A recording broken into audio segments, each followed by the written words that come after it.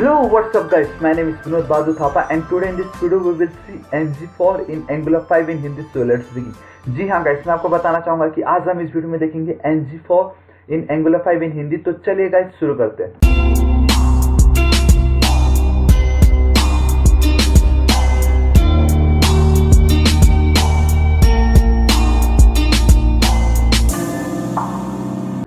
लेकिन सबसे पहले गैस अगर अभी तक आपने मेरे चैनल थापा टेक्निकल को सब्सक्राइब नहीं किया प्लीज़ गैस इसको सब्सक्राइब कर लीजिए for all the awesome videos और हाँ राइट साइड में आपको रेड कलर का बेल आइकन दिखाई देगा, उसको बजा दीजिए उस घंटे को ताकि जो भी मैं अपलोड करूँ, सबसे पहले नोटिफिकेशन आपको आ जाए, ठीक है? तो देखिए गैस आज हम देखने वाले हैं N G for in Angular five तो गाइस बेसिकली फॉर लूप आप इसको बोल सकते हो एंगुलर का, लेकिन मैं आपको बता देता हूँ कि हम पहले वाले फॉर लूप में क्या करते थे? मल्टीपल कंडीशंस देते थे I greater than I less than ठीक है तो हम उसमें इंक्रीमेंट करते थे कंडीशन देते थे इनिशियलाइजेशन वो सब करते थे। लेकिन इसमें गाइस आप ऐसा समझ लो कि अगर आपने कुछ लिस्ट बनाया है, किसी सौ, दो सौ बच्चों का लिस्ट बना दिया, पूरा एक ऑब्जेक्ट क्रिएट करके, अब अगर आप उसको वन बाय वन दिखाना है बिना एक एक को हार्ड कोड लिख किए बिना। अब सिंपली उसमें ये फॉर लूप लगा एनजी फॉर यूज़ करो और वो एक ही लाइन में बाय डिफ़ॉल्ट तो जितने भी आप ऑब्जेक्ट बनाओगे, उन सबका one by one one by one वो डिटेल्स आता रहेगा। ठीक है तो आप ऐसा समझ लो, अगर कुछ डिटेल्स को आपको फेच करा के उसको दिखाना है देन आप एनजी फॉर इस पे यूज़ कीजिए।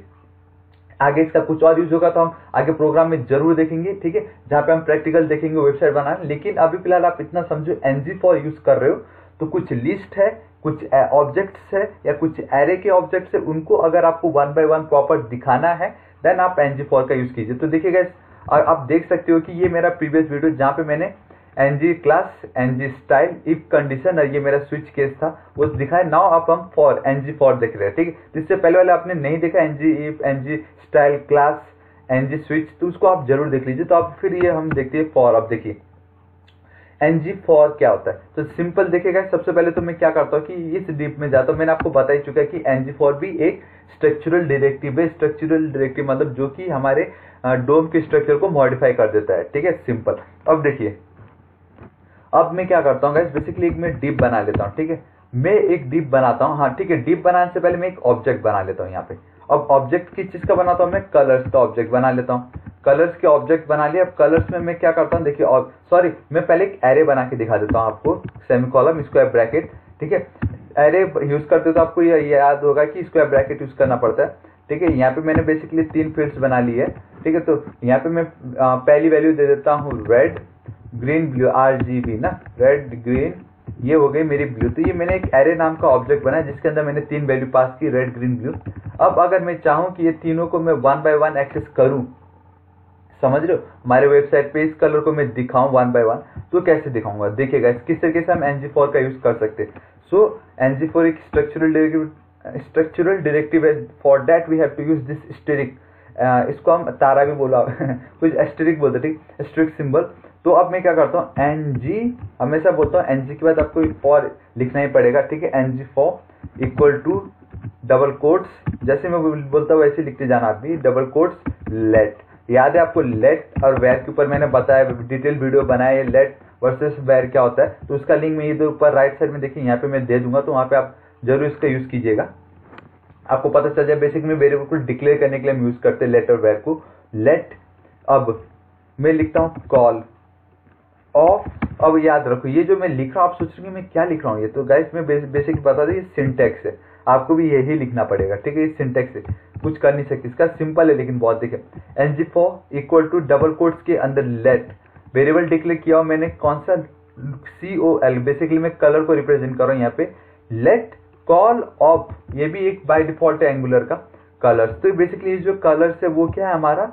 ये जो ऐप कंपोनेंट मैंने लिखा है किसमें लिखा है? मैंने app component dot T S के फ़ाइल में मैंने एक फ़ील्ड बनाया कलर्स नाम का। सॉरी मैंने एक एरे बनाया कलर्स नाम का।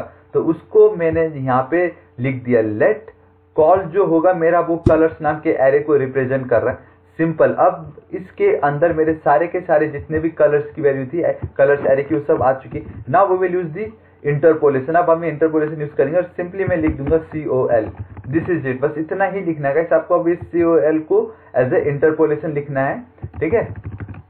और अब सिंपली आपकी वेबसाइट में जाना है। बूम गाइस आप देखिए रेड ग्रीन ब्लू अब आप सोच रही है, मेरे सारे के सारे वैल्यू से सेंटर में क्यों आ रहे हैं? तो गैस अगर आप टॉप पे जाओगे तो मैंने बहुत पहले div style align text center करके रखा हुआ था। आप देख सकते हो। ठीक है? तो आप नोटिस किया कि मैंने इनलाइन सीएसएस भी दिया हुआ चल रहा हो। ठीक है? तो मैंने वो दिया सेंटर में, इसलिए वो बाई डिफ़ॉल्ट सब सेंटर में आ रहा है उसको ठीक है? एक काम करते इसका सेंटर से हटा देते सेंटर सही नहीं दिख रही है ठीक है तो मैं ये स्टाइल हटा देता हूँ इसको अब यहाँ से। और राइट अब देखिए कैसे कैसे सब लेफ़्ट साइड में आ चुके हैं। ये देखिए। और राइट आप नोटिस करोगे सब लेफ़्ट साइड में आ गए। रेड ग्रीन ब्लू ठीक है? अब ए, मैं आपको मज़ेदार चीज़ दिखा दूँगा इस एनजी फोर में हम क्या क्या कर सकते हैं। ये तो था सिंपल इतना सा ठीक है? कोई प्रॉब्लम नहीं। गाइस ये तो अब हमने क्या किया कि कलर्स को वन बाय वन कैसे एक्सेस करना है वो देख लिया बेसिकली एरे में सिर्फ़ तीन वैल्यू थे, ठीक है? अब लेट से गाइस आपका एक एरे जिसके अंदर मल्टीपल ऑब्जेक्ट्स है, आपको उन मल्टीपल ऑब्जेक्ट्स के नेम आईडी अलग अलग चीज़ तो कैसे करेंगे? तो देखिए, उसके लिए मैं क्या करता हूँ, पहले एक एरे ऑब्जेक्ट्स बना लेता हूँ, ठीक है? तो ये कलर के नीचे गाइस मैं बायो नाम का एक एरे ऑब्जेक्ट बना लेता हूँ सो इक्वल टू आपको क्या करना है आपको सिंपली स्क्वायर ब्रैकेट यूज़ करना है अब, ठीक है? अब इसके अंदर आपको ऑब्जेक्ट्स पास करने देखिए गाइस ऑब्जेक्ट के हम क्या यूज़ करते हैं, आपको याद होगा कर्ली ब्रेसेस तो मैं फ़िलहाल तीन ऑब्जेक्ट पास करा के दिखाता हूँ इसमें, ठीक है? ऑल राइट देखिए इस तरीके से। यहाँ पे आपको मालूम है की वैल्यू की पेज में जाता so I D equal to मैं वन दे देता हूँ, ठीक है? आईडी दे दी मैंने one sorry ID equal to नहीं आई डी कॉलन वन देना है, आपको याद रखिए। कॉमा से मैंने सेपरेट किया। एंड यहाँ पे मैं दे देता हूँ नाम नेम दे देता हूँ, ठीक है? तो बेसिकली नेम जो होगा मेरा होगा क्या? नेम दे देता हूँ, विनोद। इस तरीके से विनोद और राइट ठीक है? ये हो गया मेरा पहला। अब मैं जाता हूँ दूसरे वाले को, मैं देता हूँ D colon two comma name दे देता हूँ मैं इसका। नेम दे देता हूँ गाइस बहादुर, में बेसिकली अपना विनोद बहादुर, मेरा नाम तो पूरा लिख के दे देता हूँ, विनोद बहादुर ऐसे। और लास्ट वाला जो होगा, मेरा होगा I D colon three comma name दे देता हूँ मैं बेसिकली इसमें। नेम दे देता हूँ गाइस थाप ऑल राइट तो इस तरीके से देखिए मैंने क्या लिखा? आई डी ठीक है, ये ज़्यादा स्पेस आ गया इस वाले में। यहाँ पे भी कम कर, और ठीक है, देखिए आईडी दिया है मैंने, ठीक है, सबसे पहले मैं आईडी देखिए, मैंने तो सबसे पहले एक एरे ऑब्जेक्ट बनाया, जहाँ पे बायो मेरा एरे ऑब्जेक्ट है इक्वल टू ये स्क्वायर ब्रैकेट मतलब एरे उसके अंदर कर्ली ब्रेसेस मतलब ऑब्जेक्ट सिंपल ठीक है। तो कर्ली ब्रेसेस मतलब ऑब्जेक्ट बनाया, मैंने एक आईडी वन दिया नेम विनोद, दूसरे का आईडी टू दिया नेम बहादुर तीसरे का आईडी दिया नेम थापा। और लेट अब मुझे इनको एक्सेस करना है, ठीक है, इनको वन बाय वन एक्सेस करना है, मुझे किसमें? मेरे वेबसाइट के लिए। मुझे मेरे वेब पेज में सिंपली डिव वापस asterisk N G F capital for equal to double quotes के अंदर लेट बायो डेट टास्क लिख देता हूँ, क्योंकि ऑलरेडी मैंने एक बना रखा बायोडेटा के नाम से। सो बायोडेटा कंफ्लिक्ट ना हो जाए और यहाँ पे मैं लिख देता हूँ बायो सिंपल इस तरीके से। अब यहाँ पे कल्टी ब्रेसेस यूज़ करता हूँ और मैं सिंपली मुझे लिख देना है बायो ये वाला कॉपी पेस्ट करना है मुझे। ये कॉपी यहाँ पे कर देना है पेस्ट ये जो मैंने बायो लिखा है ना, वो मेरा एरे ऑब्जेक्ट है वो बेसिकली इस वाले एरे को, वो एरे ऑब्जेक्ट को रिप्रेजेंट कर रहा है, ठीक है? अब मैं सिर्फ़ इतना लिख के अगर रन करके दिखाऊँगा ना तो हमारा कोड परफेक्ट चल रहा है। देखिए object object object object object object ठीक है, कोई प्रॉब्लम नहीं। क्योंकि हमने दिया नहीं ना, अब हमें इनको एक्सेस करना है। ऑब्जेक्ट ऑब्जेक्ट ऑब्जेक्ट ऑब्जेक्ट तो बेसिकली वो आईडी और नेम को रिप्रेजेंट कर रहा है। सो यहाँ पे मैं क्या लिख देता हूँ, सबसे पहले डॉट आईडी देखिए मैंने क्या लिखा है? बायोडेटा डॉट आईडी लिखा है मैंने। तो यहाँ पे जाऊँगा तो मुझे वन टू थ्री प्रॉपर मिल चुके हैं।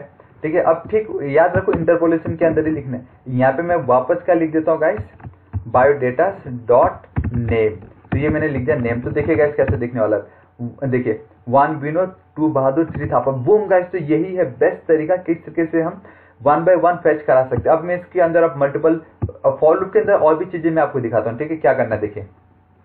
सिंपली कंडीशन के बाद आपको ये सेमी कॉलम दे देना है जूम कर देता हूँ थोड़ा सा देखिए, आपको सेमी कॉलम दे देना है, ठीक है? यहाँ पे देखिए सेमी कॉलम दिए। अब इसके अंदर बाय डिफ़ॉल्ट एनजी फॉल के लिए उन्होंने कुछ प्रॉपर्टी बना के रखी। देखिए कैसे simple index of index as I मतलब आप एज ए इंडेक्स लिख सकते हो। एज ये बाई डिफ़ॉल्ट हुआ है। क्या है गाइस ये? बाई डिफ़ॉल्ट एंगुलर ने दिया हुआ कीवर्ड इंडेक्स भी बाय डिफ़ॉल्ट एंगुलर का ही है एस भी है. ये आई के बदले आप कुछ भी लिख सकते हो, ठीक है? तो बेसिकली इंडेक्स एज आई अब आपको आई को अगर एक्सेस करना है तो आपको सिंपली इंटरपोलेशन वापस यहाँ पे आई लिख दोगे। तो देखिए वाई इंडेक्स एरे का हमेशा ज़ीरो से स्टार्ट होता है। ज़ीरो वन टू, ठीक है? तो इस, अगर आपको चाहिए कि नहीं, मुझे ज़ीरो नहीं, मुझे तो वन से चाहिए तो यहाँ पे आई प्लस वन लिख दीजिए आप सिंपली तो ये वन से स्टार्ट हो जाएगा, देखिए one two three one two three तो अगर आपको, आपका आईडी नहीं दिखाना है, आपका मेन तो आईडी हटा दीजिए आईडी के बदले आप इंडेक्स दिखा दीजिए, ठीक है? इसको हटा के यहाँ से मैं ऐसे दिखा देता हूँ। तो देखिए गए अब वो इधर का हट के इधर का वन टू थ्री हो चुका है, ठीक है? नहीं, आपको चाहिए कि नहीं, मुझे पाँच से दिखाना है तो सॉरी छः से दिख जाएगा, ठीक है। हाँ देखिए फाइव सिक्स सेवन इस तरीके से आपको दिख जाएगा, ठीक है। ऑलराइट ये तो हो गया आई ठीक है। अब देखिएगा इस यहाँ पे इंडेक्स के बदले हमारे पास एक और चीज़ है, उसको मैं आपको दिखाता हूँ। इंडेक्स के बदले आप फ़र्स्ट एज एफ़ भी लिख सकते हो। फ़र्स्ट मतलब अगर वो पहला वाला है या नहीं, आपके ऑब्जेक्ट का वो जो भी पहली वैल्यू होगी, उसको वो ट्रू दिखा देगा, बाकी फॉल्स देखिए, विनोद मेरा ट्रू पहला वैल्यू था, इसलिए ट्रू बाकी सारे फॉल्स अब ये फ़र्स्ट के बदले हाँ ठीक है। अब मैं यहाँ पे आप चाहे तो आप डायरेक्टली वन बाय वन भी ऐसे लिख सकते हो कॉम सेमी कॉलम दे दे के आप जितना भी चाहे तो लिख सकते हो। ठीक है इंडेक्स वाला को भी आप ऐसे लिख सकते थे। सो लास्ट एज एल ठीक है, उसको मैं यहाँ पे इस साइड दिखा देता हूँ। तो यहाँ पे मैंने एल लिख दिया। तो लास्ट वाला ट्रू हो जाएगा। अब देखिए फॉल्स फॉल्स थापा जो मेरा वो लास्ट है तो वो हो चुका है ट्रू तो इस तरीके से गैस आप फ़र्स्ट लास्ट ये सब यूज़ कर सकते हो, ठीक है?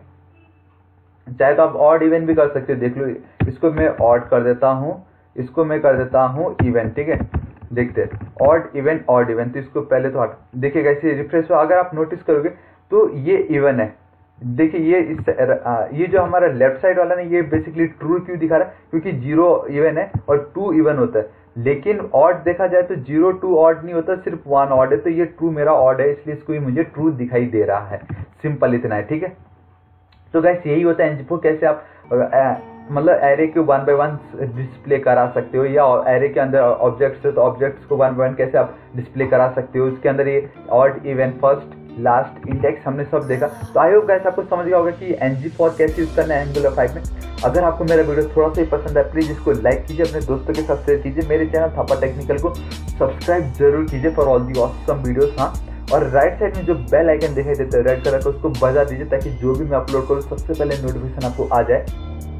अगर कुछ डाउट हो तो बेफिक्र होकर आप नीचे कमेंट कीजिए, मैं आपकी ज़रूर हेल्प करूँगा। So till then guys thank you so much take care